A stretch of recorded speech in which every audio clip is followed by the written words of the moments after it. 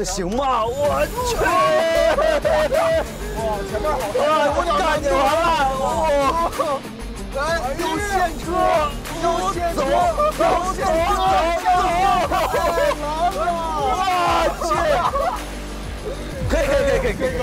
以。上呢就是我们上次去野去往达里诺尔湖的项目。那次呢，我们开的是开拓者的 RS 车型，你能看到它在泥地里表现非常的棒，那个四驱系统。那今天呢，我们同样来试驾这个开拓者的 RS 车型。我们今天在场地里边看它的越野性能。那第一个项目呢，就是这个滑轮组形成的交叉轴，已经形成了一个交叉轴，对角车轮都已经在这个轮滑组上了。现在是两驱模式，加油，是完全出不来的，因为它后轴现在是没有动力分配的。我们把它切到它的越野模式，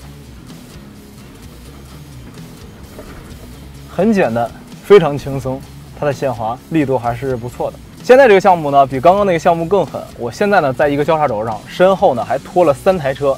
那一会儿呢，我将要在这个交叉轴上把身后那三台挂在 N 档上的车给它拖出去。不仅考验动力，还要考验限滑水平。OK，现在是越野模式上，现在出发，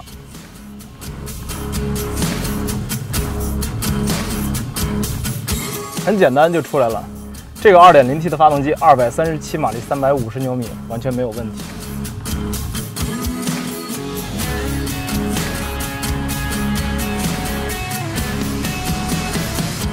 刚刚呢，仅仅是开胃小菜，终于我们来到了正餐的部分。那正餐呢，一开始呢，就是一个角度比较大的大坡。那这个坡呢，不仅考验这台车的动力水平，依然也会考验它的传动效率。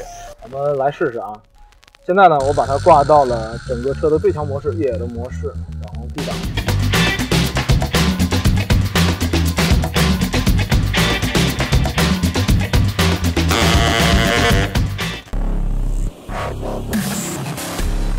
很简单，那这个车的 2.0T 的发动机啊，再加上 AT 的变速箱，应该是没有什么问题的。只不过是这个轮圈相对来说有点太大了，二十一寸的轮圈，然后再加上这个公路轮胎，可能并不是那么友好对于这个路面。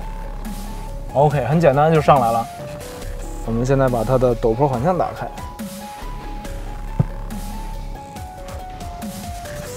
它现在这个陡坡缓降还是比较的慢。那教练说了，这台车如果你嫌它的陡坡缓降慢的话呢，你可以稍微点点油门，哈 哈很有意思。OK，大上坡大下坡对于它没有什么难度。我们现在进入土路了。啊，像这种土路呢，其实在我们自驾游或者是穿越的过程中，经常会遇到。其实走这种路，一些独立悬架的 SUV 要相比硬派越野车还要更加的舒服一些。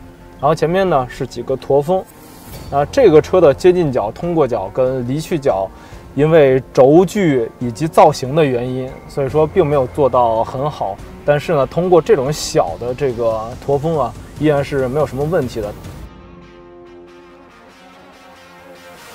来到一个侧坡。那侧坡呢？其实对于它来说就没有任何难度了。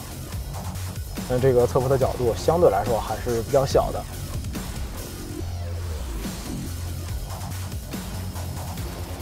这是一个大水坑啊！那像这种静止的水坑，一般来说它底下都是有烂泥的。但是呢，厂商竟然举办这样的活动，应该不会让它过不去的。我们来试试啊！尤其是我们这台车二十一寸的圈，再加上一个公路胎。应该是没有什么问题，我猜测。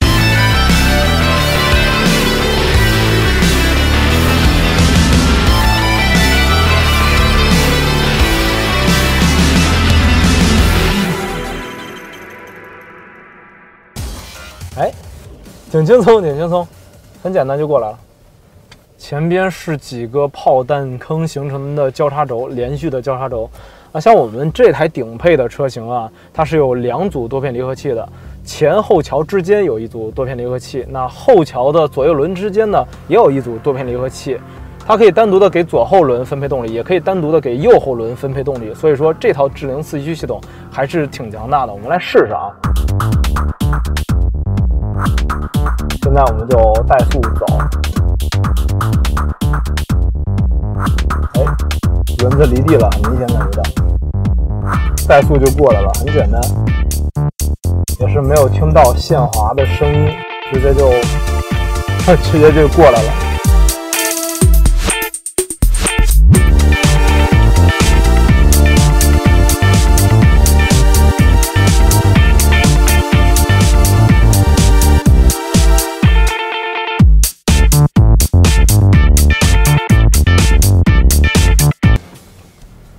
教练，我们接下来还有别的项目吗？没有了，没有了，没有了，有点意犹未尽啊。我们今天的体验项目基本上已经完成了，全都是这些越野的项目，而且呢没有什么太大的难度。那大家如果要是对于它的静态层面以及它的公路行驶层面比较感兴趣的话呢，你可以在老司机 APP 里边搜“韩路开拓者”，就可以找到比较详细的一个体验以及评测。以上的这些项目呢，其实都是一些简简单单的项目，并没有试出这台车的一个极限的性能。那这个四驱系统呢，不仅仅适合于像这种烂路交叉轴的情况，它同样适合于公路上。你在转弯的时候，它的四驱系统单独给外侧车轮动力，帮助你进行过弯。同样提升它的操控的性能。这套四驱系统呢，其实比较像丰田荣放上的2.0四驱顶配上的那个四驱系统，相对来说还是属于比较强悍的，因为它不仅适用于野外，也适用于公路上。其实，在 SUV 上，我们并不需要一个非常强悍的四驱系统带我们爬越多难多难的坡，只是我们希望在我们遇到艰难险阻的时候，它有四驱系统推我们一把。那么好了，这是今天的老司机试车，我是阿威，我们下期。喜欢记得分享哦。